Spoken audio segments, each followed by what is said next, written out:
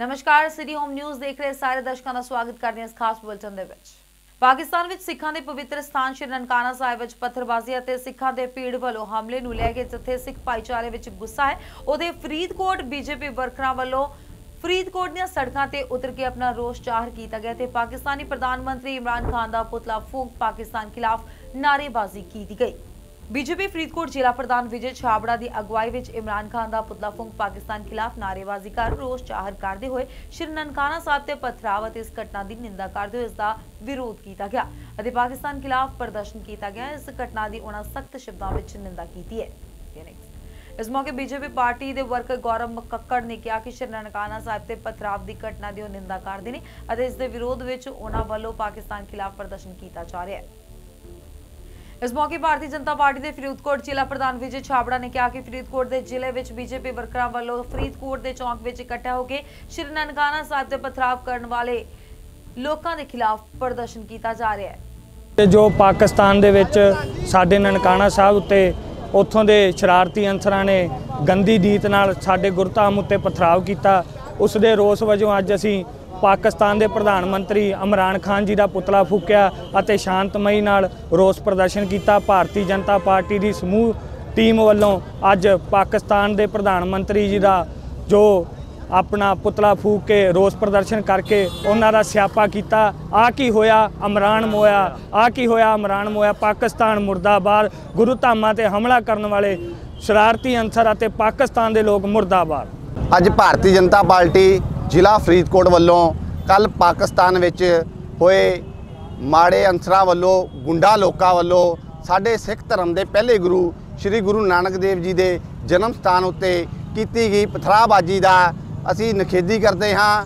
ਸਾਡੇ ਨਨਕਾਣਾ ਸਾਹਿਬ ਜਿੱਥੇ ਸਾਡੇ ਹਜੇ ਚਾਹ ਵੀ ਪੂਰੇ ਨਹੀਂ ਹੋਏ, ਉਸ ਨਨਕਾਣਾ ਸਾਹਿਬ ਲਈ ਵਰਤੀ ਗਈ ਮਾੜੀ ਤੇ ਗੰਦੀ ਭਾਸ਼ਾ ਦਾ ਅਸੀਂ ਵਿਰੋਧ ਕਰਦੇ ਹਾਂ। ਇਸੇ ਰੋਸ ਵਜੋਂ ਅੱਜ ਅੱਜ ਅੱਜ ਭਾਰਤੀ ਜਨਤਾ ਪਾਰਟੀ ਜ਼ਿਲ੍ਹਾ ਫਰੀਦਕੋਟ ਵੱਲੋਂ ਹੈੱਡਕੁਆਟਰ ਫਰੀਦਕੋਟ ਦੇ ਉੱਤੇ ਇਮਰਾਨ ਖਾਨ ਪਾਕਿਸਤਾਨ ਦੇ ਜੋ ਪ੍ਰਧਾਨ ਮੰਤਰੀ ਹਨ ਉਹਨਾਂ ਦਾ ਪੁਤਲਾ ਫੂਕ ਕੇ ਅਸੀਂ ਸ਼ਾਂਤੀਮਈ ਢੰਗ ਨਾਲ ਰੋਸ ਪ੍ਰਗਟ ਕੀਤਾ ਹੈ। ਜਿਹੜੇ ਸ਼ਰਧਾਲੂ ਉੱਥੇ ਜਾ ਰਹੇ ਆ ਉਹਨਾਂ ਦੀ ਸੁਰੱਖਿਆ ਦੀ ਵੀ ਕੋਈ ਮੰਗ ਕਰ ਰਹੇ ਹੋ? ਅਸੀਂ ਜਿਹੜੇ ਸ਼ਰਧਾਲੂ ਉੱਥੇ ਜਾ ਰਹੇ ਹੈ ਜਾਂ ਉੱਥੇ ਮੌਜੂਦ ਹਨ ਅਸੀਂ ਪਾਕਿਸਤਾਨ ਸਰਕਾਰ ਤੋਂ ਉਹਨਾਂ ਦੀ ਸੁਰੱਖਿਆ ਦੀ ਮੰਗ ਕਰਦੇ ਹਾਂ ਅਤੇ ਪਾਕਿਸਤਾਨ ਸਰਕਾਰ ਤੋਂ ਜਿਨ੍ਹਾਂ ਲੋਕਾਂ ਨੇ ਇਹ ਮਾ- ਮਾੜੀ ਹਰਕਤ ਕੀਤੀ ਹੈ, ਜਿਨ੍ਹਾਂ ਨੇ ਸਾਡੀਆਂ ਧਾਰਮਿਕ ਭਾਵਨਾਵਾਂ ਨੂੰ ਠੇਸ ਪਹੁੰਚਾਈ ਹੈ, ਉਹਨਾਂ ਤੇ ਸਖਤ ਤੇ ਸਖਤ ਕਾਰਵਾਈ ਕਰਨੀ ਚਾਹੀਦੀ ਹੈ। ਫਰੀਦਕੋਟ ਤੋਂ ਗਗਨਦੀਪ ਸਿੰਘ ਦੀ ਰਿਪੋਰਟ, ਸਿਟੀ ਹੋਮ ਨਿਊਜ਼। 26 ਜਨਵਰੀ ਨੂੰ ਲੈ ਕੇ ਪੂਰੇ ਦੇਸ਼ ਵਿੱਚ ਸੁਰੱਖਿਆ ਦੇ ਪੁਖਤਾ ਇੰਤਜ਼ਾਮ ਕੀਤੇ ਜਾ ਚੁੱਕੇ ਨੇ। ਇਸ ਦੇ ਤਹਿਤ ਹੀ ਪੰਜਾਬ ਦੇ ਵੱਖ-ਵੱਖ ਸ਼ਹਿਰਾਂ ਵਿੱਚ ਪੁਲਿਸ ਵੱਲੋਂ ਸੁਰੱਖਿਆ ਨੂੰ ਯਕੀਨੀ ਬਣਾਇਆ ਜਾ ਰਿਹਾ ਹੈ। ਸੁਰੱਖਿਆ ਦੇ ਨਜ਼ਰੀਏ ਤੋਂ ਪਠਾਨਕੋਟ ਅਤੀ ਸੰਵੇਦਨਸ਼ੀਲ ਇਲਾਕਾ ਹੈ ਜਿਸ ਦੇ ਇੱਕ ਤਰਫ ਜੰਮੂ ਕਸ਼ਮੀਰ ਅਤੇ ਦੂਸਰੀ ਤਰਫ ਇੰਡੋ-ਪਾਕ ਬਾਰਡਰ ਦੀ ਸੀਮਾ ਲੱਗਦੀ ਹੈ। ਜਿਸ ਨੂੰ ਲੈ ਕੇ ਪੁਲਿਸ ਵੱਲੋਂ ਚੌਕਸੀ ਵਧਾਉਂਦੇ ਹੋਏ ਹਰ ਜਗ੍ਹਾ ਤੇ ਚੈਕਿੰਗ ਅਭਿਆਨ ਚਲਾਏ ਜਾ ਰਹੇ ਨੇ ਜਿਸ ਦੇ ਚੱਲਦੇ ਪਠਾਨਕੋਟ ਕੈਂਟ ਰੇਲਵੇ ਸਟੇਸ਼ਨ ਤੇ ਸਰਚ ਅਭਿਆਨ ਚਲਾਇਆ ਗਿਆ ਜਿਸ ਵਿੱਚ ਡੌਗ ਸਕੋਟ ਟੀਮ ਦੇ ਸਹਿਯੋਗ ਨਾਲ ਪਲੇਟਫਾਰਮ ਤੇ ਬੈਠੇ ਲੋਕਾਂ ਦੇ ਸਮਾਨ ਦੀ ਤਲਾਸ਼ੀ ਲਈ ਗਈ ਤਾਂ ਕਿ ਕਿਸੇ ਤਰ੍ਹਾਂ ਦੇ ਕੋਈ ਸ਼ਰਾਰਤੀ ਅਨਸਰ ਕਿਸੇ ਵੀ ਵਾਰਦਾਤ ਨੂੰ ਅੰਜਾਮ ਨਾ ਦੇ ਸਕੇ। ਐਸਐਸਪੀ ਸਾਹਿਬ ਸ਼੍ਰੀ ਦੀਪਕ ਹਲੌਰੀ ਦੀਆਂ ਹਦਾਇਤਾਂ ਮੁਤਾਬਕ ਕਿਉਂਕਿ ਅੱਗੇ 26 ਜਨਵਰੀ ਆ ਰਹੀ ਹੈ ਸੋ ਆਪਾਂ ਜਿਹੜੇ ਸਾਡੇ ਇੰਪੋਰਟੈਂਟ ਜਗ੍ਹਾ ਨੇ ਵਲਨਰੇਬਲ ਪੁਆਇੰਟਸ ਨੇ ਜਿਹਦਾ railway station bus stand markets ਨੇ ਔਰ ਵੀ ਸਾਡੇ ਕੋਈ ਸੈਂਸਿਟਿਵ ਜਗ੍ਹਾ ਹੈਗੀਆਂ ਨਾ ਉਹਨਾਂ ਦੀ ਸਰਚ ਜਾਰੀ ਕੀਤੀ ਹੋਈ ਹੈ। ਇਹ ਲਗਾਤਾਰ ਜਾਰੀ ਰਹੇਗਾ ਜੀ। ਸਰ ਅੱਜ ਕਾਫੀ ਸਾਰੇ ਇਲਾਕੇ ਜਿਹੜੇ ਸ਼ਹਿਰ ਦੇ ਵਿੱਚ ਲਗਾਏ ਗਏ ਨੇ ਪਰ ਕਈ ਚੋਰ ਰਸਤੇ ਜਿਹੇ ਨੇ ਜਿਹੜੇ ਕਠੂਏ ਕੋ ਪੰਜਾਬ ਦੇ ਵਿੱਚ ਅੰਟਰ ਹੋ ਰਹੇ ਨੇ ਉਹਨਾਂ ਪਤਾ ਜਾ ਦੇਖੋ ਜੀ ਜਿਹੜੀ ਸੈਂਸਿਟਿਵ ਜਗ੍ਹਾ ਹੈ ਉਹ ਆਲਰੇਡੀ ਜਿਹੜੇ ਨਾਕਿਆਂ ਨਾਲ ਕਵਰ ਕੀਤੀ ਹੋਈ ਹੈ। ਔਰ ਰਾਤ ਨੂੰ ਵੀ ਜਿਹੜੀ ਹੈ ਸਾਡੇ ਐਂਬੂਸ਼ ਲੱਗੇ ਹੁੰਦੇ ਆ ਫੁੱਟ ਪੈਟਰੋਲਿੰਗ ਵੀ ਹੁੰਦੀ ਹੈ ਸੋ ਹਰ ਸੈਂਸਿਟਿਵ ਪੁਆਇੰਟ ਜਿਹੜਾ ਕਵਰ ਕੀਤਾ ਜਾ ਰਿਹਾ। ਹੈ ਸਰ ਚੈਕਿੰਗ ਕੇ ਦੌਰਾਨ ਕੁਝ ਪਾਇਆ ਗਿਆ? ਨਹੀਂ ਫਿਲਹਾਲ ਤਾਂ ਕੁਝ ਨਹੀਂ ਐਸਾ ਕੁਝ ਨਹੀਂ ਰੂਟੀਨ ਚੈਕਿੰਗ ਹੈ ਇਹ ਸਾਡੀ ਡਿਊਟੀ ਹੈ ਆਪਾਂ ਲਗਾਤਾਰ ਜਾਰੀ ਰੱਖਣੀ ਹੈ ਕਿਉਂਕਿ ਅਸੀਂ ਕਿਸੇ ਦਾ ਵੇਟ ਨਹੀਂ ਕਰ ਸਕਦੇ ਪ੍ਰੋਐਕਟਿਵਲੀ ਪੁਲਿਸ ਨੇ ਕੰਮ ਕਰਦੇ ਰਹਿਣਾ ਹੈ। ਪਠਾਨਕੋਟ ਤੋਂ ਧਰਮਿੰਦਰ ਠਾਕੁਰ ਦੀ ਰਿਪੋਰਟ ਸਿਟੀ ਹੋਮ ਨਿਊਜ਼ ਉਤੇ ਫਰੀਦਕੋਟ ਪੁਲਿਸ ਵੱਲੋਂ ਐਸਪੀ ਸੇਵਾ ਸਿੰਘ ਮੱਲੀ ਅਤੇ ਡੀਐਸਪੀ ਗੁਰਪ੍ਰੀਤ ਸਿੰਘ ਦੀ ਅਗਵਾਈ ਵਿੱਚ ਵੱਖ ਪੁਲਿਸ ਜਵਾਨਾਂ ਦੀ ਟੁਕੜੀਆਂ ਬਣਾ ਕੇ ਫਰੀਦਕੋਟ ਦੇ ਰੇਲਵੇ ਸਟੇਸ਼ਨ ਤੇ ਗੱਡੀਆਂ ਤੇ ਯਾਤਰੀਆਂ ਦੀ ਚੈਕਿੰਗ ਕੀਤੀ ਗਈ। ਉਤੇ ਬੱਸ ਸਟੈਂਡ ਤੇ ਵੀ ਬੱਸ ਯਾਤਰੀਆਂ ਦੀ ਅਤੇ ਬੱਸਾਂ ਦੀ ਚੈਕਿੰਗ ਕੀਤੀ ਗਈ ਅਤੇ ਬੱਸ ਪਾਰਕਿੰਗ ਦੇ ਵਿੱਚ ਖੜੇ ਵਾਹਨਾਂ ਦੀ ਵੀ ਚੈਕਿੰਗ ਕੀਤੀ ਗਈ। ਇਸ ਚੈਕਿੰਗ ਵਿੱਚ ਕਰੀਬ 60 ਪੁਲਿਸ ਮੁਲਾਜ਼ਮ ਮੌਜੂਦ ਸਨ। ਰੇਲਵੇ ਸਟੇਸ਼ਨ ਦਾ ਜਿਹੜੀ ਉਹ ਭੀੜ ਜਗ੍ਹਾ, ਉਹ ਚੈੱਕ ਕਰਦੇ ਹਾਂ ਡੌਸ ਨਾਲ ਲਿਆ, ਸਾਰੀ ਫੋਰਸ ਰਹੀ ਹੈ। ਅਸੀਂ ਹਰ ਪੱਖ ਚੈਕਿੰਗ ਕਰ ਰਹੇ ਹਾਂ। ਸਰ ਕਿਸੇ ਕਿਸਮ ਦਾ ਕੋਈ ਥ੍ਰੈਟ ਨਹੀਂ ਨਹੀਂ ਥ੍ਰੈਟ ਨਾ ਥ੍ਰੈਟ ਨਾ ਨਾ। ਇਹ ਤਾਂ ਤਿਆਰ ਵਜੇ ਦਾ ਜੋ- ਜਿਹੜੀ ਪੁਲਿਸ ਦੀ ਇੱਕ ਰੂਟੀਨ ਨਾਲ ਜਿਹੜੀ ਹੈਗੀ ਆ ਡਰਿਲ ਹੈਗੀ ਹੈ ਅਸੀਂ ਰੂਟੀਨ ਪਹਿਲਾਂ ਚੈੱਕ ਕਰਦੇ ਹਾਂ ਉਹ ਚੈਕਿੰਗ ਆ ਜਾਂਦੀ ਸਰ ਕੁਝ ਦਿਨ ਪਹਿਲਾਂ ਇੰਟੈਲੀਜੈਂਸ ਵੱਲੋਂ ਇੱਕ ਡਰੋਨ ਹਮਲਿਆਂ ਦੀ ਜਿਹੜੀ ਇੱਕ ਨਹੀਂ ਨਹੀਂ ਸੋ ਐਕਚੁਅਲੀ ਸਾਡੇ ਇਹ- ਬਾਰਡਰ ਦਾ ਏਰੀਆ ਨਹੀਂ ਹੈਗਾ। ਉਹ ਬਾਰਡਰ ਦੇ ਵਿੱਚ ਹੋ ਸਕਦਾ ਸਾਡਾ ਉਹਨਾਂ ਲਿੰਕ ਨਹੀਂ ਸਰ ਜਨਰਲ ਚੈਕਿੰਗ ਹੈਗੀ ਐਂਟੀ ਸਬੋ ਦਾ ਚੈੱਕ ਜਿਹੜੇ ਸ਼ੱਕੀ ਬੰਦੇ ਚੈੱਕ ਚੁੱਕ ਕਰਨਾ ਬਾਜ਼ਾਰਾਂ ਭੀੜ ਭੜਕਾਂ ਨੂੰ ਚੈੱਕ ਕਰਨਾ ਸੀ ਕਿੰਨੇ ਮੁਲਾਜ਼ਮ ਜਿਹੜੇ ਅੱਜ? ਅਸੀਂ ਕਰੀਬ 50 60 ਦੇ ਜਵਾਨ ਕਰੀਬ ਅਸੀਂ ਵਿੱਚ ਇਨਵੋਲਵ ਕੀਤੇ ਨੇ। ਵਿੱਚ ਡੌਗ ਸਕਾਡ ਹੈਗਾ। ਸਾਡੇ ਕੋਲ ਐਂਟੀ ਸਬੋ ਟੀਮ ਹੈ ਸਭ ਚੈੱਕ ਕਰ ਰਹੇ ਪ੍ਰੋਪਰ ਇਸ ਤੋਂ ਇਲਾਵਾ ਵੀ ਕਿਤੇ ਹੋਰ ਕੋਈ ਪਬਲਿਕ ਪਲੇਸਿਸ ਤੇ ਜਿੱਥੇ ਅਸੀਂ ਜਾ ਰਹੇ ਹਾਂ ਇਸ ਤੋਂ ਇਲਾਵਾ ਅਸੀਂ ਬੱਸ ਸਟੈਂਡ ਜਾਵਾਂਗੇ ਜਾਂ ਹੋਰ ਬਾਜ਼ਾਰ ਵਿੱਚ ਜਿੱਥੇ ਭੀੜ ਭੜਕਾ ਉੱਥੇ ਜਾਵਾਂਗੇ ਚੈੱਕ ਕਰਾਂਗੇ। ਥੈਂਕ ਯੂ ਫਰੀਦਕੋਟ ਤੋਂ ਗਗਨਦੀਪ ਸਿੰਘ ਦੀ report city home news cabinet ਮੰਤਰੀ ਤ੍ਰਿਪਤ ਰਾਜਿੰਦਰ ਸਿੰਘ ਬਾਜਵਾ ਗੁਰਦਾਸਪੁਰ ਵਿੱਚ ਵਰਕਰਾਂ ਨਾਲ ਮੀਟਿੰਗ ਕਰਨ ਅਤੇ ਉਹਨਾਂ ਦੀਆਂ ਮੁਸ਼ਕਲਾਂ ਸੁਣਨ ਲਈ ਪੁੱਜੇ, ਜਿੱਥੇ ਉਹਨਾਂ ਨੇ ਵਰਕਰਾਂ ਦੀਆਂ ਮੁਸ਼ਕਲਾਂ ਸੁਣੀਆਂ ਤੇ ਨਾਲ ਹੀ ਉਹਨਾਂ ਨੇ ਕੈਬਨਿਟ ਮੰਤਰੀ ਸੁਖਜਿੰਦਰ ਸਿੰਘ ਰੰਦਾਵਾ ਦੀ ਵਾਇਰਲ ਵੀਡੀਓ ਮਾਮਲੇ ਉੱਤੇ ਮੰਤਰੀ ਰੰਦਾਵਾ ਵੱਲੋਂ ਸ਼੍ਰੀ ਅਕਾਲ ਤਖਤ ਸਾਹਿਬ ਨੂੰ ਭੇਜੇ ਸਪਸ਼ਟੀਕਰਨ ਤੇ ਬੋਲਦੇ ਕਿਹਾ ਕਿ ਸਿੰਘ ਸਾਹਿਬਾਨ ਵੱਡੇ ਹਨ ਅਤੇ ਧਾਰਮਿਕ ਮਸਲਾ ਹੈ, ਇਸ ਲਈ ਰੰਦਾਵਾ ਨੇ ਆਪਣਾ ਸਪਸ਼ਟੀਕਰਨ ਭੇਜ ਕੇ ਬਹੁਤ ਹੀ ਵਧੀਆ ਕੀਤਾ ਤੇ ਨਾਲ ਹੀ ਉਹਨਾਂ ਨੇ ਪਾਕਿਸਤਾਨ ਵਿੱਚ ਸ਼੍ਰੀ ਨਨਕਾਣਾ ਸਾਹਿਬ ਤੇ ਹੋਏ ਹਮਲੇ ਦੀ ਕੜੀ ਸ਼ਬਦਾਂ ਵਿੱਚ ਨਿੰਦਾ ਵੀ ਕੀਤੀ ਹੈ। ਇਸ ਮੌਕੇ ਰੰਦਾਵਾ ਨੇ ਮੀਡੀਆ ਨਾਲ ਗੱਲਬਾਤ ਦੌਰਾਨ ਪੰਚਾਇਤੀ ਜ਼ਮੀਨਾਂ ਨੂੰ ਲੈ ਕੇ ਬੈਂਸ ਵੱਲੋਂ ਕੀਤੇ ਜਾ ਰਹੇ ਪ੍ਰੋਟੈਸਟ ਨੂੰ ਗਲਤ ਦੱਸਿਆ। ਅਤੇ ਕਿਹਾ ਕਿ ਸਰਕਾਰ ਕੋਈ ਪੰਚਾਇਤੀ ਜ਼ਮੀਨਾਂ ਨੂੰ ਨਹੀਂ ਵੇਚ ਰਹੀ, ਕਲਕੱਤੇ ਤੋਂ ਲੁਧਿਆਣਾ ਤੱਕ ਇੱਕ ਰੇਲਵੇ ਦਾ ਫਰੇਟ ਕੋਰੀਡੋਰ ਬਣਾਇਆ ਜਾ ਰਿਹਾ ਹੈ, ਜਿਸ ਉੱਪਰ ਮਾਲ ਗੱਡੀਆਂ ਚੱਲਣਗੀਆਂ ਇਸ ਲਈ ਸਹਿਮਤੀ ਨਾਲ ਇਹ ਜ਼ਮੀਨ ਲਈ ਗਈ ਹੈ। ਤੇ ਨਾਲ ਹੀ ਯੂਪੀ ਵਿੱਚ 55 ਸਿੱਖਾਂ ਦੇ ਦਰਜ ਹੋਏ ਮਾਮਲਿਆਂ ਨੂੰ ਗਲਤ ਦੱਸਦੇ ਉਹਨਾਂ ਕਿਹਾ ਕਿ ਪ੍ਰਧਾਨ ਮੰਤਰੀ ਨਰਿੰਦਰ ਮੋਦੀ ਨੂੰ ਉਹ ਨਸੀਹਤ ਦਿੰਦੇ ਹਨ ਤੇ ਉਹਨਾਂ ਕਿਹਾ ਕਿ ਮੋਦੀ ਸਰਕਾਰ ਧਰਮਾਂ ਦੀ ਲੜਾਈ ਨਾ ਲੜੇ। ਇਸ ਮੌਕੇ ਮੀਟਿੰਗ ਦੌਰਾਨ ਇੱਕ ਵਰਕਰ ਨੇ ਕੈਬਨਿਟ ਮੰਤਰੀ ਬਾਜਵਾ ਨੂੰ ਸਵਾਲ ਤਾਂ ਕੀਤਾ ਕਿ ਉਹਨਾਂ ਦੀ ਸਰਕਾਰ ਵਿੱਚ ਉਹਨਾਂ ਉੱਪਰ 26 ਦੇ ਪਰਚੇ ਹੋ ਰਹੇ ਹਨ ਪਰ ਉਹਨਾਂ ਦੀ ਕਿਤੇ ਸੁਣਵਾਈ ਨਹੀਂ ਹੋ ਰਹੀ ਜਿਸ ਤੇ ਬਾਜਵਾ ਤਲਖੀ ਖਾ ਉੱਠੇ। ਪੰਚਾਇਤੀ ਜ਼ਮੀਨਾਂ ਵੇਚਣ ਨੂੰ ਲੈ ਕੇ ਬਹਿਸ ਬੜਾ ਖਰਚ ਕਰ ਨਹੀਂ ਉਹ ਗਲਤ ਗੱਲ ਹੈ ਪੰਚਾਇਤੀ ਜ਼ਮੀਨਾਂ ਕੋਈ ਨਹੀਂ ਵੇਚ ਰਹੇ ਕੋਈ ਪੰਚਾਇਤ ਦੀ ਜ਼ਮੀਨ ਨਹੀਂ ਵਿਕ ਸਕਦੀ ਜਿੰਨੀ ਤੱਕ ਪੰਚਾਇਤ ਅਪਰੂਵਲ ਨਾ ਦੇਵੇ। ਸੋ ਉਹ ਸਿਰਫ ਉਹ ਸਪੈਸ਼ਲ ਜ਼ਮੀਨ ਸੀ ਇੱਕ ਫਰੇਟ ਕੋਰੀਡੋਰ ਬਣ ਰਿਹਾ ਰੇਲਵੇ ਦਾ ਕਲਕੱਤੇ ਤੋਂ ਲੁਧਿਆਣੇ ਤੱਕ। ਸਪੈਸ਼ਲ ਉੱਤੇ ਮਾਲ ਗੱਡੀਆਂ ਚੱਲਣੀਆਂ ਤੇ ਤੁਹਾਨੂੰ ਸਾਰਿਆਂ ਨੂੰ ਪਤਾ ਵਾ। ਉਹਦੀ ਅਟਰੈਕਸ਼ਨ ਹੈ ਰਸਤੇ ਸਨ ਉਹਦੇ ਲਾਗੇ 2000 ਏਕੜ 75 ਪਿੰਡਾਂ ਜ਼ਮੀਨ ਵਾਧੂ ਸੀ ਉਹਨਾਂ ਕੋਲ ਲਈ ਉਹਨਾਂ ਦੀ ਅਪਰੂਵਲਾਂ ਲਈ ਉਹਨਾਂ ਨੇ ਰੈਜੂਲੇਸ਼ਨ ਪਾਏ ਫੇਰ ਲਈ। ਤੇ ਜਿੰਨੀ ਤੱਕ ਪੰਚਾਇਤ ਰੈਜੂਲੇਸ਼ਨ ਨਹੀਂ ਪਾਏਗੀ ਕਿਸੇ ਪਿੰਡ ਦੀ ਜ਼ਮੀਨ ਨਹੀਂ ਜਾ ਸਕਦੀ। ਕੱਲ ਪਾਕਿਸਤਾਨ ਗੁਰਦੁਆਰਾ ਸਾਹਿਬ ਤੇ ਅਟੈਕ ਕੀਤਾ ਬੜਾ। ਨਨਕਾਣਾ ਸਾਹਿਬ ਉਹ ਗਲਤ ਆ ਜੀ ਬਦਕਿਸਮਤੀ ਆ। ਮੰਦ ਭਾਗੜਾ ਭਾਗੀ ਕਰਨਾ ਵਾ। ਸੋ ਅਸੀਂ ਕੰਡੈਮ ਕਰਨੇ ਆ ਪ੍ਰਵਿੰਦਰ ਢੀਂਡਸੇ ਨੂੰ ਅਸਤੀਫਾ ਦੇਣ ਦਾ ਜੀ ਬਾਦਲ ਪਰਿਵਾਰ ਹੁਣ ਉਹਨਾਂ ਦੀ ਇੰਟਰਨਲ ਪਾਰਟੀ ਦਾ ਮਸਲਾ ਉਹ ਜਾਣਨ ਉਹਨਾਂ ਦਾ ਕੰਮ ਜਾਣੇ। ਵੇਖਣ ਕੀ ਬਣਦਾ।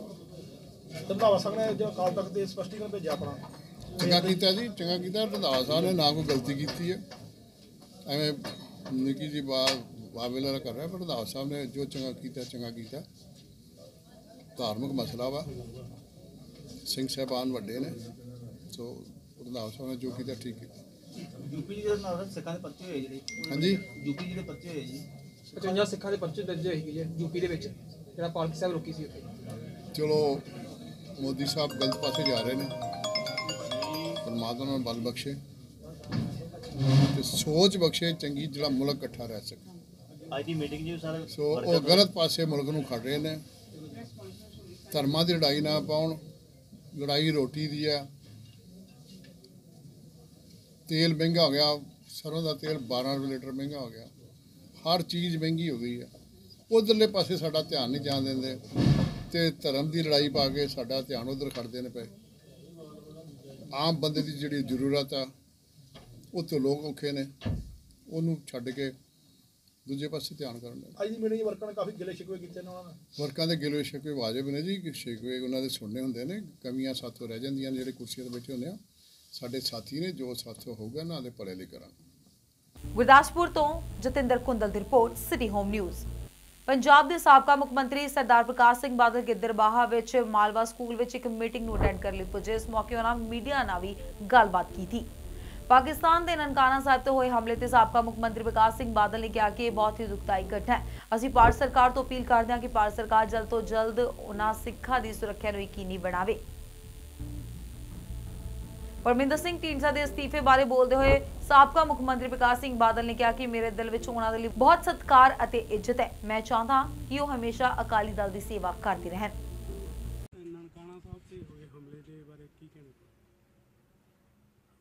ਬੜਾ ਹੀ ਦੁਖਦਾਈ ਹੈ ਜੀ। ਤੇ ਉੱਥੋਂ ਇਹ ਕਿਹਾ ਜਾ ਰਿਹਾ ਕਿ ਸਿੱਖਾਂ ਨੂੰ ਬਿਲਕੁਲ ਇੱਥੋਂ ਮਤਲਬ ਕਿ ਕੱਢ ਦੇਣਾ ਤੇ ਜਿਹੜਾ ਨਨਕਾਣਾ ਸਾਹਿਬ ਉਹਦਾ ਨਾਮ ਬਦਲ ਦੇਣਾ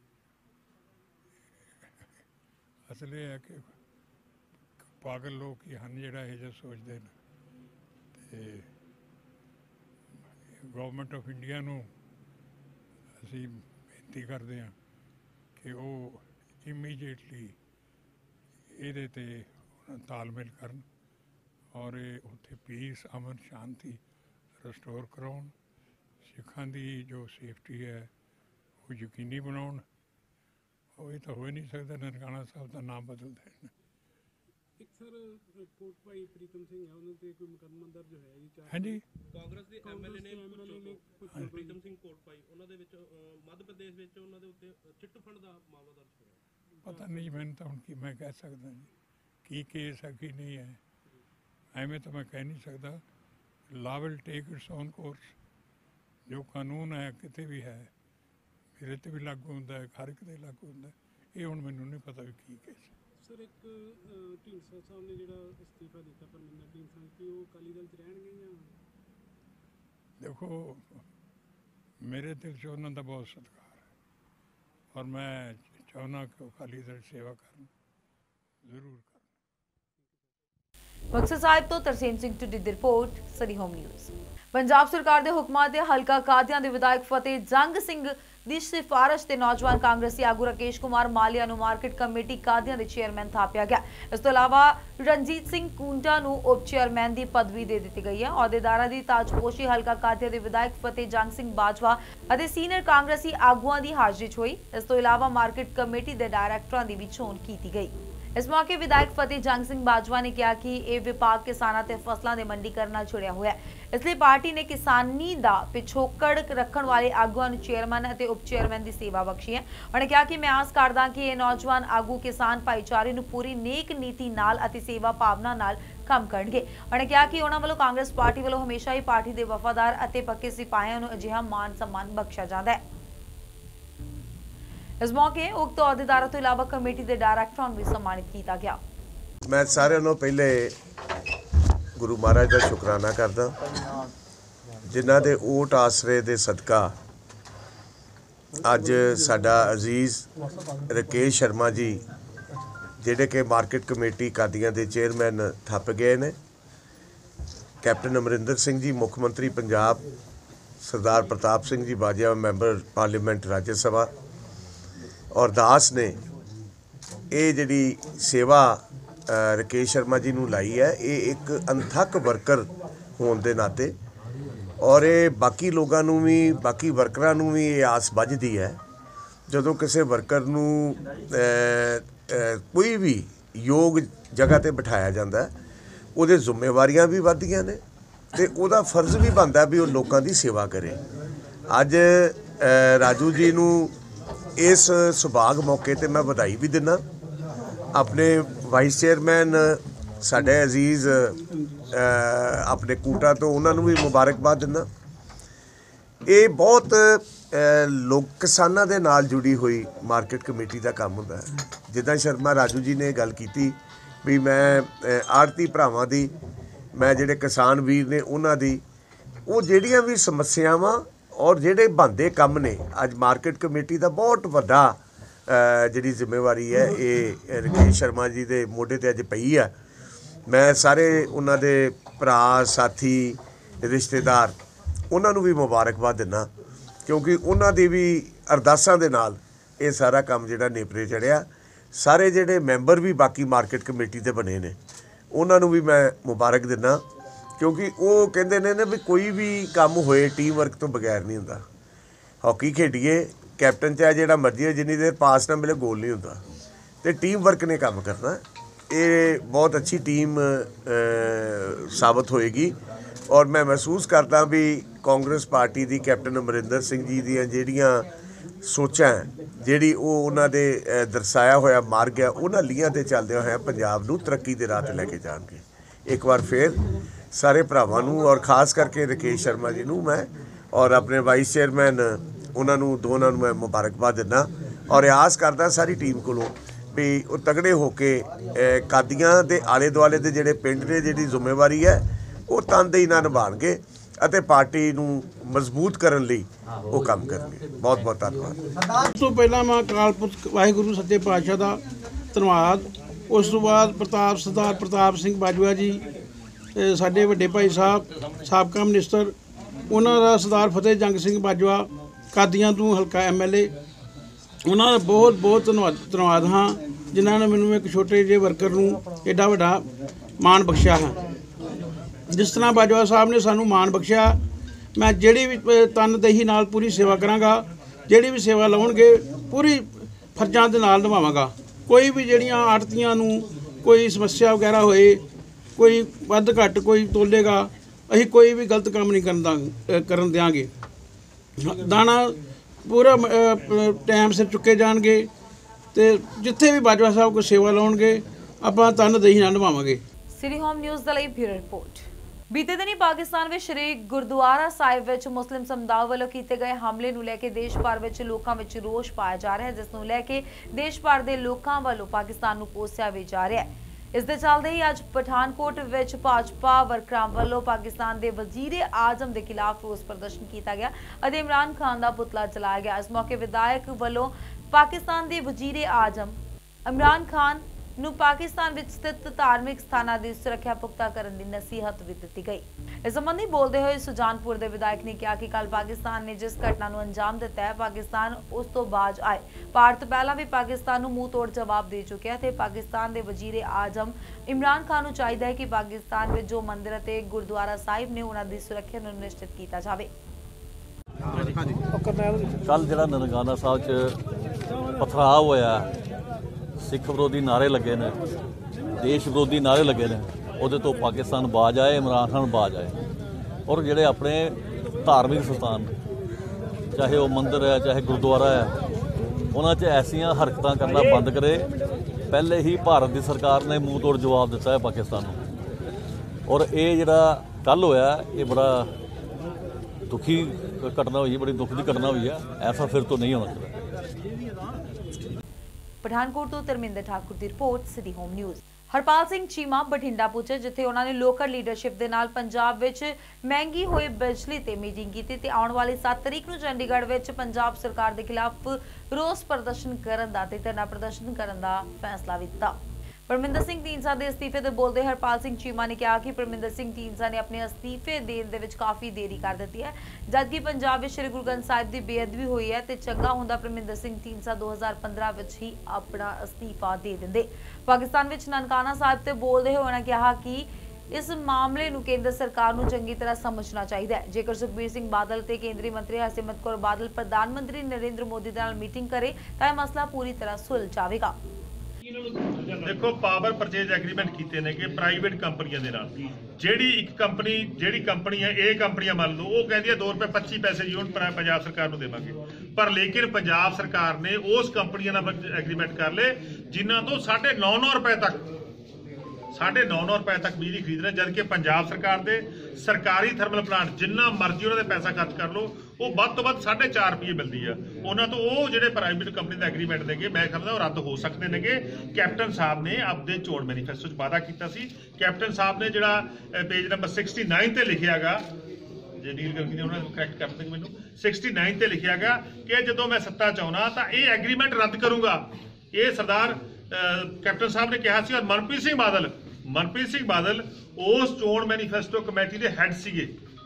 ਮਨਪ੍ਰੀਤ ਸਿੰਘ ਬਾਦਲ, ਉਹ ਚੋਣ ਮੈਨੀਫੈਸਟੋ ਕਮੇਟੀ ਦੇ ਹੈੱਡ ਸੀਗੇ। ਉਹ ਬਾ- ਬਾਹਰੋਂ ਪੜ੍ਹ ਕੇ ਆਏ ਨੇਗੇ, ਬਾਹਰਲੇ ਦੇਸ਼ ਦੇ ਪੜ੍ਹੇ ਲਿਖੇ ਨੇਗੇ। ਸੁਨੀਲ ਜਾਖੜ ਜੀ, ਜਿਹੜੇ ਸੁਨੀਲ ਜਾਖੜ ਜੀ ਕਾਂਗਰਸ ਪਾਰਟੀ ਦੇ ਪ੍ਰਧਾਨ ਨੇ, ਉਹਨਾਂ ਨੇ ਵਾਅਦਾ ਕੀਤਾ ਸੀ, ਉਹ ਵੀ ਪੜ੍ਹੇ ਲਿਖੇ ਨੇਗੇ। ਕੈਪਟਨ ਸਾਹਿਬ ਵੀ ਪੜ੍ਹੇ ਲਿਖੇ ਨੇ।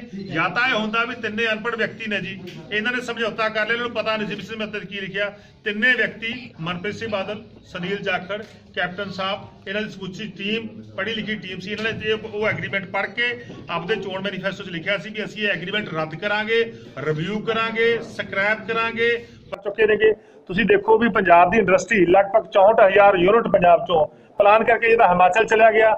ਈਵਨ ਕਿ ਪੰਜਾਬ ਚੋਂ ਪਲਾਨ ਕਰਕੇ ਲੋਕ ਜੰਮੂ ਕਸ਼ਮੀਰ ਜਾ ਕੇ ਇਨਵੈਸਟ ਕਰ ਰਹੇ ਨੇ ਪੰਜਾਬ ਦੇ ਲੋਕ ਜਿਹੜੇ ਹੈਗੇ ਨੇ, ਉਹ ਜੰਮੂ ਕਸ਼ਮੀਰ ਨੂੰ ਸੇਫ ਮੰਨਦੇ ਨੇ। ਪੰਜਾਬ ਨਾਲੋਂ ਕਿਉਂ? ਕਿਉਂਕਿ ਪੰਜਾਬ ਵਿੱਚ ਬੇਸਿਕਲੀ ਇਨਫਰਾਸਟ੍ਰਕਚਰ ਮਾੜਾ ਗਾ ਪੰਜਾਬ ਵਿੱਚ ਲੁੱਟ ਖਸੁੱਟ ਹੋ ਰਹੀ ਆ।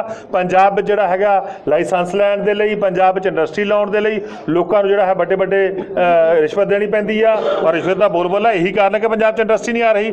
ਕੈਪਟਨ ਸਾਹਿਬ ਨੇ ਪੰਜਾਬ ਇਨਵੈਸਟ ਕੀਤਾ। ਕੈਪਟਨ ਸਾਹਿਬ ਨੇ ਪੰਜਾਬ ਇਨਵੈਸਟ ਕੀਤਾ। ਕੈਪਟਨ ਸਾਹਿਬ ਸਪਸ਼ਟ ਕਰਨ ਕਿੰਨੇ ਕਿੰਨੀ ਇੰਡਸਟਰੀ ਆਈ ਹੈ ਹਜੇ ਤੱਕ ਕੋਈ ਇੰਡਸਟਰੀ ਨਹੀਂ ਆਈ ਹੈਗੀ। ਕੋਈ ਜਿੰਨੇ ਵੀ ਐਮਓਯੂ ਸਾਈਨ ਕੀਤੇ ਨੇ, ਸਿਰਫ ਉਹ ਮੈਂ ਸਮਝਦਾ ਕਾਗਜ਼ੀ ਐਮਓਯੂ ਨੇ, ਉਹਦੇ 'ਚ ਕੋਈ ਵੀ ਇੰਡਸਟਰੀ ਪਿਛਲੇ 3 ਸਾਲ ਹੋ ਗਏ। 3 ਸਾਲਾਂ ਤੋਂ ਲਗਾਤਾਰ ਲਗਾਤਾਰ ਪੰਜਾਬ ਇਨਵੈਸਟ ਹੋ ਰਿਹਾ ਹੈਗਾ। ਲਗਾਤਾਰ ਇੰਡਸਟਰੀ ਨੂੰ ਬੁਲਾਇਆ ਜਾ ਰਿਹਾ ਕਿ ਅਸੀਂ ਤੁਹਾਨੂੰ ਇਨਵੈਸਟ ਕਰਨ ਲਈ ਇੱਥੇ ਬੁਲਾਉਂਦੇ ਹੈਗੇ। ਪਰ ਮੈਨੂੰ ਦੱਸੋ ਵੀ ਕਿਹੜੀ ਇੰਡਸਟਰੀ 3 ਸਾਲਾਂ 'ਚ ਕਿਹੜੀ ਇੰਡਸਟਰੀ ਪੰਜਾਬ 'ਚ ਆਈ ਆ? ਬਠਿੰਡਾ 'ਚ ਹੀ ਦੱਸ ਦਿਓ ਵੀ ਕਿਹੜੀ ਇੰਡਸਟਰੀ ਆਈ ਆ। ਕਿਤੇ ਕੋਈ ਇੰਡਸਟਰੀ ਨਹੀਂ ਆਈ ਹੈਗੀ। ਸਿਰਫ ਉਹ ਪੰਜਾਬ ਦੇ ਟੈਕਸ ਪੇਅਰ ਦਾ ਪੈਸਾ ਜਿਹੜਾ, ਪੰਜਾਬ ਦੇ ਜਿਹੜੇ ਸਿਹਤ ਦੇ ਲੋਕ, ਇਮਾਨਦਾਰੀ ਦੇ ਨਾਲ ਟੈਕਸ ਪੇਅਰ ਕਰਦੇ ਨੇ, ਉਹ ਪੈਸੇ ਨੂੰ ਕਿਵੇਂ ਖਾਂਦੇ ਨੇ? ਤੁਸੀਂ ਦੇਖੋ, ਇੱਕ ਜਿਹੜਾ ਹੈਗਾ ਪੰਜਾਬ ਇਨਵੈਸਟ ਬੰਬੇ 'ਚ ਹੋਇਆ ਸੀਗਾ। ਪੰਜਾਬ ਸਰਕਾਰ ਬੰਬੇ ਇਨਵੈਸਟ ਕਰਾਉਣ ਦੇ ਲਈ ਗਈ ਆ। ਪੰਜਾਬ ਸਰਕਾਰ ਬੰਬੇ ਗਈ ਆ ਕਿ ਉੱਥੋਂ ਇਨਵੈਸਟ ਕਰਾਇਆ ਜਾਵੇ। ਇੱਕ ਵੀ ਸਿੰਗਲ ਇੰਡਸਟਰੀ ਨਹੀਂ ਆਈ ਪੰਜਾਬ 'ਚ। ਸੋ ਇੱਥੋਂ ਪਤਾ ਲੱਗਦਾ ਕਿ ਪੰਜਾਬ ਦਾ ਰੈਪੂਟੇਸ਼ਨ ਇਹਨਾਂ ਪੋਲੀਟੀਸ਼ੀਅਨਾਂ ਚਾਹੇ ਅਕਾਲੀ ਦਲ ਆ, ਚਾਹੇ ਕਾਂਗਰਸ ਆ, ਪੰਜਾਬ ਦਾ ਰੈਪੂਟੇਸ਼ਨ ਜਾਣਬੁੱਝ ਕੇ ਖਰਾਬ ਕੀਤਾ ਪਿਆ। ਪੰਜਾਬ ਨੂੰ ਨਵੀਆਂ ਲੀਹਾਂ ਤੇ ਲੈ ਕੇ ਆਉਣ ਲਈ ਆਮ ਆਦਮੀ ਪਾਰਟੀ ਲੱਗੀ ਹੋਈ ਹੈ ਚੀਮਾ ਇੱਕ ਪਰਮਿੰਦਰ ਸਿੰਘ ਢੀਂਡਸੇ ਵੱਲੋਂ ਕੱਲ੍ਹ ਅਸਤੀਫਾ ਦਿੱਤਾ ਗਿਆ ਉਹਦੇ ਵਿੱਚ। ਦੇਖੋ ਪਰਮਿੰਦਰ ਸਿੰਘ ਢੀਂਡਸਾ ਜੀ, ਤਾਂ ਉਹ ਗੱਲ ਆ ਵੀ ਦੇਰ ਆਏ ਦਰੁਸਤ ਆਏ ਚਲੋ ਉਹਨਾਂ ਨੂੰ ਜਿਹੜੀ ਹੋਸ਼ ਆ ਗਈ, ਇਸ ਗੱਲ ਦੀ ਕਿ ਪੰਜਾਬ 'ਚ ਗੁਰੂ ਗ੍ਰੰਥ ਸਾਹਿਬ ਦੀ ਬੇਅਦਬੀ ਹੋਈ ਸੀ। ਜਦੋਂ 2015 ਚੰਗਾ ਹੁੰਦਾ ਕਿ ਉਹ 2015 'ਚ ਰਿਜ਼ਾਈਨ ਦਿੰਦੇ?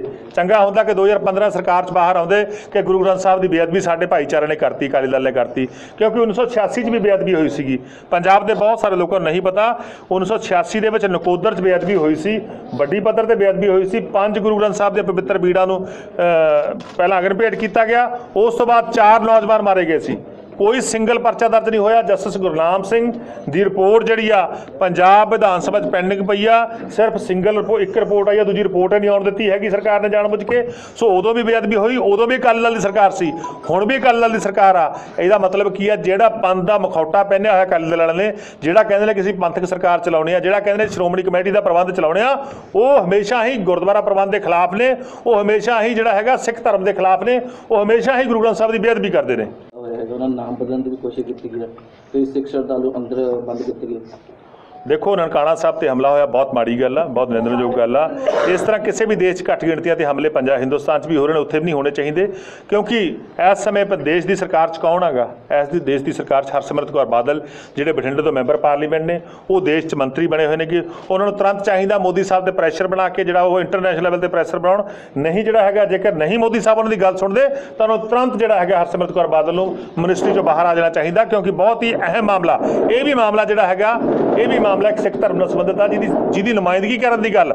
ਜਿਹਦੀ ਨੁਮਾਇੰਦਗੀ ਕਰਨ ਦੀ ਗੱਲ ਅਕਾਲੀ ਦਲ ਕਰਦਾ, ਸ਼੍ਰੋਮਣੀ ਅਕਾਲੀ ਦਲ ਗੱਲ ਕਰਦਾਗਾ ਵੀ ਅਸੀਂ ਸਿੱਖ ਧਰਮ ਦੀ ਨੁਮਾਇੰਦਗੀ ਕਰਦੇ ਆ ਅਸੀਂ ਪੰਥ ਦੀ ਨੁਮਾਇੰਦਗੀ ਕਰਦੇ ਆ ਅੱਜ ਅੱਜ ਨਨਕਾਣਾ ਸਾਹਿਬ ਤੇ ਜੇ ਹਮਲਾ ਹੁੰਦਾ ਤਾਂ ਮੈਂ ਸਮਝਦਾਗਾ, ਜੇਕਰ ਮੋਦੀ ਸਾਹਿਬ ਹਰਸਿਮਰਤ ਕੌਰ ਬਾਦਲ ਦੀ ਗੱਲ ਨਹੀਂ ਮੰਨਦੇ, ਜੇਕਰ ਮੋਦੀ ਸਾਹਿਬ ਸੁਖਬੀਰ ਸਿੰਘ ਬਾਦਲ ਦੀ ਗੱਲ ਨਹੀਂ ਮੰਨਦੇ, ਜੇਕਰ ਸ਼੍ਰੋਮਣੀ ਅਕਾਲੀ ਦਲ ਦੀ ਗੱਲ ਨਹੀਂ ਮੰਨਦੇ, ਆਪਦੇ ਭਾਈਚਾਰੇ ਦੀ ਭਾਈਵਾਲ ਦੀ ਗੱਲ ਨਹੀਂ ਮੰਨਦੇ, ਤਾਂ ਤੁਰੰਤ ਹਰਸਿਮਰਤ ਕੌਰ ਬਾਦਲ ਨੂੰ ਜਿਹੜਾ ਇਸ ਇਸ਼ੂ ਨੂੰ ਲੈ ਕੇ ਬਾਹਰ ਆਉਣਾ ਚਾਹੀਦਾ। ਇੱਕ ਪੁੱਛੋ ਦੇ ਵਿਧਾਇਕ ਬਠਿੰਡਾ ਤੋਂ ਅਵਤਾਰ ਸਿੰਘ ਕੈਂਪ ਦੀ report city home news. Hoshiarpur ਦੀ ਥਾਣਾ ਹਰਿਆਣਾ ਪੁਲਿਸ ਨੇ ਚਾਰ ਮੁਲਾਜ਼ਮਾਂ ਨੂੰ ਰਿਸ਼ਵਤ ਲੈਣ ਦੇ ਆਰੋਪ ਵਿੱਚ ਇੱਕ ਵੀਡੀਓ ਵਾਇਰਲ ਹੋਈ ਸੀ ਅਤੇ ਵਾਇਰਲ ਹੋਣ ਤੋਂ ਬਾਅਦ ਇਹ ਮਾਮਲਾ ਹੋਰ ਜ਼ਿਆਦਾ ਗਰਮਾ ਗਿਆ ਤੇ ਮੀਡੀਆ ਦੇ ਸਾਹਮਣੇ ਆ ਗਿਆ, ਜਿਸ ਤੇ ਜ਼ਿਲ੍ਹਾ ਪੁਲਿਸ ਮੁਖੀ ਨੇ ਚਾਰ ਪੁਲਿਸ ਕਰਮੀਆਂ ਨੂੰ ਲਾਈਨ ਹਾਜ਼ਰ ਕਰਨ ਦੇ ਆਦੇਸ਼ ਦੇ ਦਿੱਤੇ ਨੇ। ਸੋਸ਼ਲ ਮੀਡੀਆ ਤੇ ਵੀਡੀਓ ਵਾਇਰਲ ਹੋਣ ਦੇ ਮਾਮਲੇ ਤੇ ਸਬ ਇੰਸਪੈਕਟਰ ਸਮੇਤ ਤਿੰਨ ਸਹਾਇਕ ਸਬ ਇੰਸਪੈਕਟਰ ਨੂੰ ਜ਼ਿਲ੍ਹਾ ਪੁਲਿਸ ਮੁਖੀ ਹੁਸ਼ਿਆਰਪੁਰ ਨੇ ਲਾਈਨ ਹਾਜ਼ਰ ਕਰ ਦਿੱਤਾ ਵੀਡੀਓ ਵਾਇਰਲ ਹੋਣ ਤੋਂ ਬਾਅਦ ਮੀਡੀਆ ਨਾਲ ਗੱਲਬਾਤ ਕਰਦੇ ਹੋਏ ਸ਼ਿਕਾਇਤਕਰਤਾ ਇੰਦਰਪਾਲ ਸਿੰਘ ਨੇ ਜੋ ਕਿ ਥਾਣਾ ਹਰਿਆਣਾ ਦੇ ਅੰਤਰਗਤ ਆਉਂਦੇ ਨੇ ਤੇ ਪਿੰਡ ਦੇ ਰਹਿਣ ਵਾਲੇ ਨੇ ਉਹਨਾਂ ਦੱਸਿਆ ਕਿ ਉਕਤ ਪੁਲਿਸ ਵਾਲਿਆਂ ਨੇ ਉਹਨਾਂ ਤੇ ਝੂਠਾ ਮਾਈਨਿੰਗ ਦਾ ਮਾਮਲਾ ਦਰਜ ਕਰਵਾਉਣ ਦੀ ਧਮਕੀ ਦਿੱਤੀ ਸੀ, ਜਿਸ ਦੇ ਚੱਲਦੇ ਉਹਨਾਂ ਨੇ 50000 ਰੁਪਏ ਦੀ ਰਿਸ਼ਵਤ ਦੀ ਮੰਗ ਵੀ ਕੀਤੀ ਸੀ। ਉਹਨਾਂ 50000 ਰੁਪਏ ਵੀਡੀਓ ਵਿੱਚ ਆ ਰਹੇ ਚਾਰ ਆਰੋਪੀਆਂ ਨੂੰ ਦੇ ਦਿੱਤੇ। ਰਿਸ਼ਵਤ ਲੈਣ ਤੋਂ ਬਾਵਜੂਦ ਵੀ ਉਹਨਾਂ ਆਰੋਪੀਆਂ ਨੇ ਉਹਨਾਂ ਤੇ ਝੂਠੇ ਮਾਮਲੇ ਦਰਜ ਕਰ ਦਿੱਤੇ, ਜਿਸ ਦੀ ਸ਼ਿਕਾਇਤ ਉਹਨਾਂ ਨੇ ਉੱਚ ਅਧਿਕਾਰੀਆਂ ਕੋਲ ਕਰ ਦਿੱਤੀ। 6 ਮਹੀਨੇ ਪਹਿਲਾਂ ਇਹਨਾਂ ਨੇ ਪਰਚਾ ਕੱਟਿਆ ਸੀ, ਪਲਾਟ ਦਾ ਕੇਸ ਚੱਲਦਾ ਸੀ ਕੇਸ ਓਪਨ ਸੀਗਾ ਸਟੇ ਹੋਈ ਹੋ ਸੀਗੀ। ਸਟੇ ਹੋਣ ਦੇ ਨਾਲ ਉਸ ਤੋਂ ਬਾਅਦ ਦੀ ਉਹਨਾਂ ਨੇ ਆ ਕੇ ਕੰਧਾ ਕਰਤੀਆਂ, ਜਬਰਦਸਤ ਕੰਧਾ ਕਰਨ ਦੇ ਨਾਲ ਫਿਰ ਇਹਨਾਂ ਨੇ ਐਪਲੀਕੇਸ਼ਨ ਰਾਤ ਨੂੰ ਆਪ ਹੀ ਢਾਹ ਕੇ ਸਾਡੇ ਤੇ ਪਰਚਾ ਹੋ ਗਿਆ ਕਰਤਾ ਇਹਨਾਂ ਨੇ। ਜਦੋਂ ਅਸੀਂ ਵੀਡੀਓ ਵੀ ਦਿੱਤੀ ਚੱਡਾ ਸਾਹਿਬ ਨੂੰ ਤੇ ਕੋਈ ਯਾਨੀ ਕਿ ਸਾਡਾ ਇਨਸਾਫ ਨਹੀਂ ਹੋਇਆ। ਇਹਨਾਂ ਨੇ ਜਾ ਕੇ ਮੇਰੇ ਘਰ ਵ- ਘਰ ਦੇ ਆਪਣੇ ਮੈਸੇਜ ਤੇ ਤੇ ਮੇਰੀ ਮੰਮੀ ਤੇ ਇਹਨਾਂ ਨੇ ਪਰਚਾ ਕਰਤਾ। 379 ਚੋਰੀ ਦੀ ਵੀ ਲਾਤੀ ਦਫਾ, ਕਈ ਕੁਝ ਲਾਤਾ, ਜਦ ਕਿ ਉਹਦਾ ਕੇਸ ਚੱਲਦਾ ਸੀਗਾ। ਫਿਰ ਉਸ ਤੋਂ ਬਾਅਦ ਇਹਨਾਂ ਨੇ ਮੇਰੇ ਕੋਲ ਪੈਸਿਆਂ ਦੀ ਡਿਮਾਂਡ ਕੀਤੀ ਕਿ ਕੋਈ ਨਹੀਂ ਅਸੀਂ ਇਨਕੁਆਰੀ ਪਾ ਦਿੰਦੇ ਆ ਤੂੰ ਸਾਨੂੰ ਪੈਸੇ ਦੇ। ਉਸ ਲਈ ਇਹਨਾਂ ਨੂੰ ਮੈਂ 10000 ਰੁਪਇਆ ਉਸਲੇ ਦਿੱਤਾ। ਉਸ ਤੋਂ ਬਾਅਦ ਫਿਰ ਇਹਨਾਂ ਨੂੰ ਮੈਂ 20000 ਰੁਪਇਆ ਫੇਰ ਵੀ ਦਿੱਤਾ ਇਹਨਾਂ ਨੂੰ ਕਿ ਤੁਹਾਨੂੰ ਅਸੀਂ ਫੜਾਂਗੇ ਨਹੀਂ। ਤੇ ਉਸ ਤੋਂ ਬਾਅਦ ਉਹਨਾਂ ਦਾ ਸਾਡਾ ਰਾਜੀਨਾਮਾ ਹੋ ਗਿਆ। ਬਾਅਦ ਚ ਕੰਪਰੋਮਾਈਜ਼ ਕਰ ਲਿਆ। ਫਿਰ ਉਸ ਤੋਂ ਬਾਅਦ ਮੈਂ ਟਿੱਪਰ ਲਿਆ। 2 ਮਹੀਨੇ ਹੋਏ ਸੀ ਟਿੱਪਰ ਲਏ ਨੂੰ। ਤੇ ਜਦੋਂ ਟਿੱਪਰ ਲਿਆ ਤੇ ਮੈਂ ਉਨੇ ਤੋਂ ਰੇਤਾ ਭਰ ਕੇ ਆਉਂਦਾ ਸੀਗਾ। ਉਨੇ ਤੋਂ ਰੇਤਾ ਜਦੋਂ ਡਰਾਈਵਰ ਭਰਦੇ ਆ ਡਰਾਈਵਰ ਕੰਮ ਕਰਦੇ ਸਾਡੇ। ਮੈਂ, ਮੈਨੂੰ ਟਿੱਪਰ ਵੀ ਨਹੀਂ ਚਲਾਉਣਾ ਆਉਂਦਾ। ਜਦੋਂ ਮੈਂ ਰਾਤ ਨੂੰ ਇਹ ਆਪਣੇ ਕੀ ਕਹਿੰਦੇ ਕੰਗਾ ਤੋਂ ਆਨਾ ਸੀਗਾ ਮੈਂ ਇੱਧਰ ਨੂੰ, ਤੇ ਇਹਨਾਂ ਨੇ ਮੇਰੇ ਸੋਨੂ ਬਾਰੀਏ ਨੇ, ਜਿਹੜੀ ਮੇਰੇ ਤੋਂ ਐਂਟੀ ਪਾਰਟੀ ਆ, ਉਹਨਾਂ ਨੇ ਮੇਰੇ ਤੇ ਹਮਲਾ ਕੀਤਾ।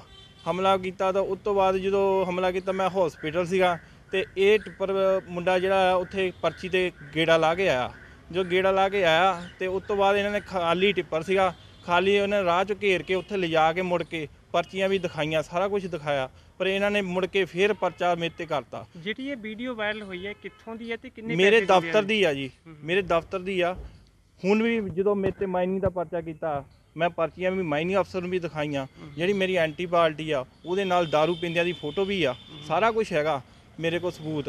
ਪਰਚੀਆਂ ਵੀ ਹੈਗੀਆਂ ਪਰ ਇਹਨਾਂ ਨੇ ਚੱਕ ਕੇ ਮੇਰੇ ਤੇ ਪਰਚਾ ਕਰਤਾ ਜਦ ਕਿ ਮੈਨੂੰ ਟਿੱਪਰ ਨਹੀਂ ਚਲਾਉਣਾ ਆਉਂਦਾ। ਇਹ ਕੌਣ ਕੌਣ ਮੁਲਾਜ਼ਮ ਆ? ਇਹਦੇ ਵਿੱਚ ਜੇਈ ਆ ਐਸਡੀਓ ਆ ਦੋ ਜੇਈ ਆ ਤੇ ਸੋਨੂ ਬਾਰੀ ਆ। ਨਹੀਂ ਨਹੀਂ ਜਿਹੜੀ ਵੀਡੀਓ ਹੈ ਉਹਦੇ ਵਿੱਚ ਕਿਹੜੇ ਕਿਹੜੇ ਮੁਲਾਜ਼ਮ ਇਹਦੇ? ਵਿੱਚ ਹਜਿੰਦਰ ਆ ਤੇ ਸਿਕੰਦਰ ਆ ਸੁਸ਼ੀਲ ਆ ਤੇ ਨਾਲ ਮਦਨ ਆ। ਤੇ ਇਹਦੀ ਤੁਸੀਂ ਉੱਚ ਅਧਿਕਾਰੀਆਂ ਨੂੰ ਵੀਡੀਓ ਦਿਖਾਈ ਹੈ? ਕੀ ਕਾਰਵਾਈ ਹੋਈ ਹੁਣ ਕੋਈ ਕਾਰਵਾਈ ਨਹੀਂ ਹੋਈ ਇਹਨਾਂ ਨੂੰ ਲੈਣ ਹਾਜ਼ਰ ਕਰਤਾ। ਇਹ ਮੁੜ ਕੇ ਫਿਰ ਇਹਨਾਂ ਕਹਿੰਦੇ ਸਾਡੀ ਅਫਸਰਾਂ ਨਾਲ ਹੁਣ ਸਾਨੂੰ ਧਮਕੀਆਂ ਵੀ ਆਉਂਦੀਆਂ ਜੇਲ੍ਹਾਂ ਵੀ ਧਮਕੀਆਂ ਦਿੰਦੇ ਪਏ ਆ। ਮੈਨੂੰ ਮਾਰਨ ਦੀਆਂ ਧਮਕੀਆਂ ਮੈਂ ਪਹਿਲਾਂ ਜੇਲ੍ਹੋਂ ਧਮਕੀ ਆਈ ਸੀਗੀ ਮਾਈਨਿੰਗ ਦੀ। ਮੈਂ ਮਾਈਨਿੰਗ ਖਿਲਾਫ ਡੀਸੀ ਸਾਹਿਬ ਕੋ ਵੀ ਗਿਆ। ਐਪਲੀਕੇ ਫੋਟੋ ਵੀ ਲਾਈ ਸਾਰਾ ਕੁਝ ਕਿਲਿਆ। ਐਸਡੀਐਮ ਕੋ ਉਹਨਾਂ ਨੇ ਐਸਡੀਐਮ ਨੂੰ ਦੇਤੀ ਮਾਰਕ ਕਰਤੀ। ਜੋ ਮਾਰਕ ਕੀਤੀ ਤੇ ਫਿਰ ਮੈਂ ਗਿਆ ਉਹਨਾਂ ਕੋ ਜੇਈ ਸਾਹਿਬ ਕੋ ਉਹਨਾਂ ਤੇ ਕੋਈ ਐਕਸ਼ਨ ਨਹੀਂ ਕੀਤਾ ਜੀ। ਇਹ ਜਿਹੜੀ ਵੀਡੀਓ ਕਿੰਨੇ ਕੁ ਦੇਰ ਪਹਿਲਾਂ ਦੀ? ਇਹ ਜੀ 6 ਮਹੀਨੇ ਦੀ ਪਹਿਲਾਂ ਦੀ ਆ ਜੀ।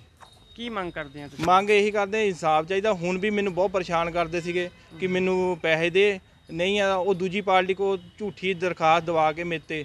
ਪਹਿਲਾਂ ਉਹਨੇ ਮੇਰੇ ਤੇ ਦੋ ਵਾਰੀ ਹਮਲੇ ਕੀਤੇ ਇੱਕ ਹੁਸ਼ਿਆਰਪੁਰ ਦਾ ਪਰਚਾ ਉੱਤੇ ਇੱਕ ਆਪਣੇ ਹਰਿਆਣੇ ਦਾ ਪਰਚਾ ਜਿਹੜਾ ਹਰਿਆਣੇ ਵਾਲਾ ਪਰਚਾ ਉਹ ਚ ਵੀ ਇਹ ਇਨਵੋਲਵ ਆ ਇਹ ਕਹਿੰਦੇ ਉਹਦੇ ਬਹੁਤ ਸਾਥ ਦਿੰਦੇ ਆ ਇਹ ਮਾਈਨਿੰਗ ਆਪ ਕਰਾਉਂਦੇ ਆ।